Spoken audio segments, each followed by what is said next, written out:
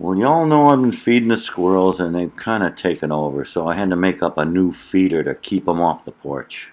Started with this one, and they figured that out in a hurry, so our research told us why this is a problem.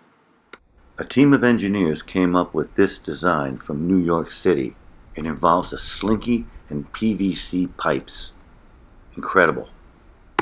Allow me to show you some of its features. The cymbal on top is meant to be a noise deterrent.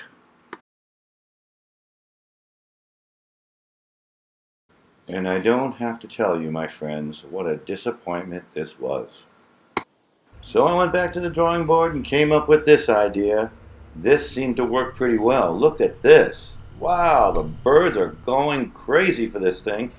We may have success after all.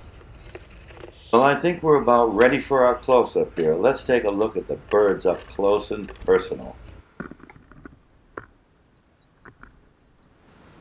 Well, this seems to be working very well. Interesting.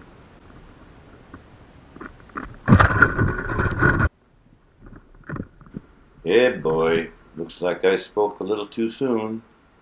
Cue the sad trombone.